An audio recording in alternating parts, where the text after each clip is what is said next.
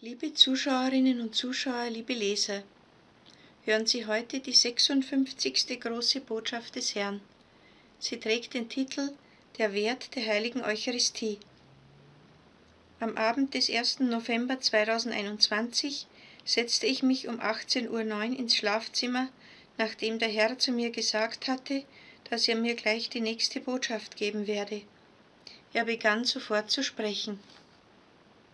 Meine Tochter, immer wenn ich dich zum Diktat rufe, möchte ich, dass du dich sofort bereithältst. So ist es recht. Meine Diktate dulden keinen Aufschub, weil sie überaus wichtig für euch sind. Und du übst dabei den Gehorsam mir gegenüber. So will ich es. Meine Tochter, du arbeitest ausschließlich für mich und für sonst niemanden. So wird es auch in Zukunft sein. Ich werde in allen Belangen für dich sorgen, so dass es dir an nichts mangeln wird. Halte dich stets an mich, dann wirst du vom Weg nicht abweichen. So will ich es. Amen. Meine Tochter, so wie du die Seiten in deinem Notizbuch umblätterst, so schlagen wir heute ein neues Kapitel in deinem Leben auf. Du hast lange genug gewartet und Geduld bewiesen. Ich habe dich lange und ausführlich geprüft. Nun bist du reif und bereit für deine neuen Aufgaben. In Kürze wird sich in deinem Leben alles ändern. Warte es ab. Es wird noch in diesem Jahr beginnen. Du wirst bald in einer neuen Umgebung leben, die ich für dich ausgesucht habe. Amen. Es wird alles seinen Lauf nehmen. Sei unbesorgt und warte es ab. So, meine Tochter, bereite dich nun auf unsere Begegnung im Gottesdienst vor. So will ich es, so gefällt es mir.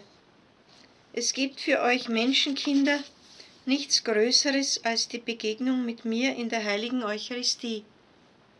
Aber ihr schätzt es viel zu wenig. Täglich komme ich zu euch, aber ihr kommt nicht zu mir. Wie schmerzt mich das, Wollt ihr etwa den Bräutigam alleine lassen, der das Festmahl schon für euch vorbereitet hat? Geht ihr so mit dem Gastgeber um? Ist das nicht überaus ungehörig und respektlos? Was muss ich denn noch alles ertragen? Ihr tretet mit euren Füßen auf mir herum und seid dabei schlimmer als meine Henkersknechte vor 2000 Jahren. Wie sehr verabscheue ich euer unerträgliches Verhalten. Und dennoch komme ich euch jeden Tag wieder mit der gleichen Freundlichkeit entgegen. Wie lange wollt ihr euch noch so töricht verhalten? Merkt ihr denn gar nichts?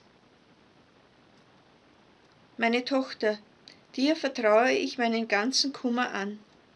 Bei dir klage und weine ich. Bei dir suche ich Gehör und finde es, denn du bist mitfühlend und verständnisvoll.